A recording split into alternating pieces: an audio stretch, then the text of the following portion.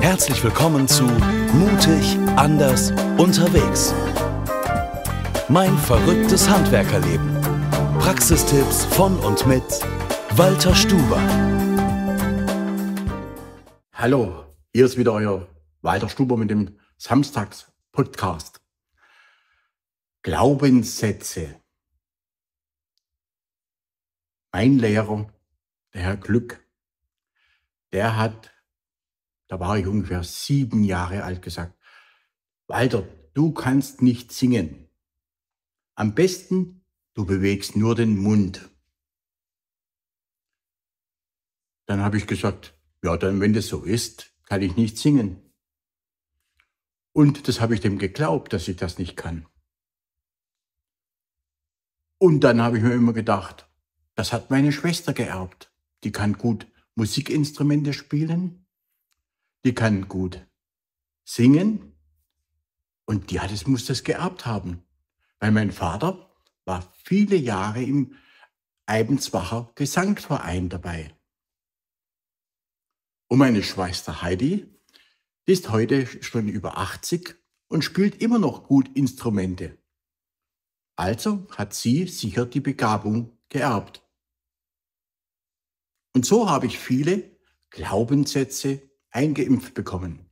Meine Mutter hat mir zum Beispiel gesagt, Walter, wenn jemand dir ein richtig gutes Geschäft anbietet, dann lass die Finger davon, weil der könnte ja das Geld selber verdienen, das gute Geld. Und du bekommst gar nichts davon. Der legt dich nur aufs Kreuz. Lass es bleiben. Also wenn ein richtig gutes Geschäft dir jemand anbietet, wo du Geld verdienen kannst, lass es bleiben. Auch so ein Glaubenssatz. Kommt von meiner Mutter. Wo ich 2020, da hat mein Vater noch gelebt, wo ich ihm erzählt habe, dass ich das Unternehmen hier in Sachsen vom Herrn Gemeinhardt kaufen möchte, vom Heinrich Gemeinhardt die Niederlassung hier in Sachsen kaufen möchte mit mehreren Gesellschaftern, dann hat er gesagt, Walter, das kannst du nicht, lass es. Das habe ich ihm nicht geglaubt. Das wusste ich, dass ich das kann. Und nach im Nein muss ich sagen, Glaubenssätze sind Schaum. Das, die Erkenntnis bekomme ich immer mehr. Wenn du was willst und du willst erfolgreich werden im Leben oder du willst gut sprechen können oder du möchtest Motorrad fahren können oder du möchtest LKW fahren können oder du möchtest einen Berg besteigen, auch wenn du behindert bist, dann lass dir helfen, hol dir die Leute, die dir helfen, nach vorne zu kommen. Und es gibt wirklich gute Trainer, die dir helfen, mit dir auf den Berg raufzusteigen, auch wenn du behindert bist. Und wenn du ein Rollstuhlfahrer bist, dann kannst du auch Harley fahren, ein Dreieck. Oder du kannst ein anderes Motorrad fahren. Es muss nur entsprechend umgebaut werden. Und diese Glaubenssätze, wo wir immer als Kinder eingepflanzt bekommen oder noch als Erwachsene, du kannst nicht mit dem Computer umgehen, du kannst nicht mit dem Handy umgehen, und sonst alles, das stimmt alles nicht. Du brauchst nur die Menschen, die dir helfen, den richtigen Weg zu finden. Und ich habe viele solche Menschen auf meiner Seite gehabt. Der Dirk Eckert ist so einer. Der hat mir auch geholfen, über manche Glaubenssätze hinwegzukommen und einfach zu marschieren und zu gehen. Und was mir geholfen hat, früher hat, man, hab ich, hat mir jeder gesagt, du kannst nicht richtig lesen. Ist das wichtig? Ich glaube, die meisten können nicht richtig lesen. Es ist wichtig, dass du überhaupt liest. Und jetzt sagen viele zu mir, ich habe doch gar keine Zeit zum Lesen. Da sage ich, dann lese doch jeden Tag nur zwei Seiten. In 100 Tagen hast du 200 Seiten gelesen. Und das Buch hast du durchgelesen.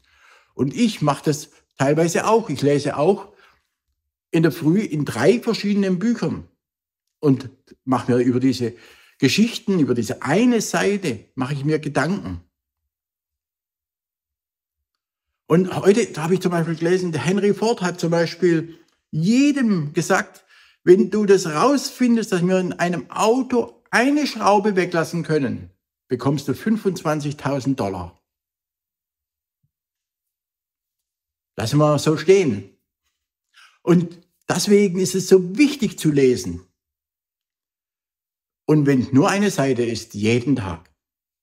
Lass die Glaubenssätze laufen. Wenn dir einer sagt, du kannst nicht schwimmen, dann geh zu jemand, der dir hilft, schwimmen zu lernen. Wenn du nicht sprechen kannst richtig, dann geh zu jemand und lass dir helfen. Es gibt so viele tolle Trainer, die dir helfen können, was zu verstehen. Und so habe ich auch ganz viele Leute um mich herum, Berater, Trainer, die mir weiterhelfen, das Richtige zu machen und das, was ich machen will, da auch anzukommen. Daran zu glauben, dass ich, jetzt bin ich behindert. Ich gehe, lang, zeitlang bin ich bis zum 52. Lebensjahr ohne Krücken gegangen. Man hat gesehen, ich bin gehbehindert. Dann habe ich eine OP im Spinalkanal. Dann bin ich noch ein halbes Jahr mit Krücken gegangen, dann bin ich wieder ohne Krücken gegangen, so ein Jahr. Und irgendwann habe ich mich an diese Krücken gewöhnt. Und es war jetzt so, dass mir jetzt immer wieder die Hände ein bisschen eingeschlafen sind und die Motorik schlecht geworden ist. Und dann bin ich, habe ich angefangen, hat mir jemand gesagt, hey, du kriegst Druckstellen in den Händen, geh mit Wanderstöcke. Das mache ich jetzt.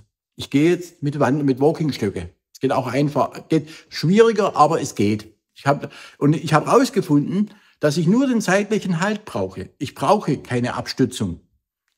Und mein größter Wunsch ist noch, mit meiner Gundi ohne diese blöden Stöcke auf den Jakobsweg zu gehen. Und daran glaube ich. Und daran arbeite ich. Und das werde ich auch noch in meinem Leben machen. Ich gehe auf dem Jakobsweg. Und ich muss nicht den in 14 Tagen durchlaufen. Ich kann auch vier Wochen brauchen. Oder ich mache eine Woche, laufe eine Woche, komme ein Jahr später wieder eine Woche. Nur ein Unterschied muss ich euch sagen. Ich fange in Spanien an. Ich fange nicht in äh, Frankreich an. Jedes Mal, wenn ich nach Frankreich in Urlaub gegangen bin, das erste Mal hatte ich mit dem Spinalkanal Probleme, musste ich den Urlaub komplett absagen in den Pyrenäen. Beim zweiten Mal, wo ich in Frankreich im Urlaub war, hatte ich eine Thrombose und ihr seht, das ist nur ein Glaubenssatz. Beim dritten Mal muss nicht sein. Wir haben alle nur Glaubenssätze. Und ich wünsche euch, denkt mal über eure Glaubenssätze nach. Und wenn euch das Video gefallen hat, dann schaut das nächste an. Euer Walter Stuber. Tollen Tag, tollen Samstag oder ein anderer Tag. Wiederschauen. Das war Mutig, anders unterwegs. Mein verrücktes Handwerkerleben. Praxistipps von und mit Walter Stuber. Mehr über den Gerüstbauer und sein Unternehmen erfahren Sie auf www.walter-stuber.de.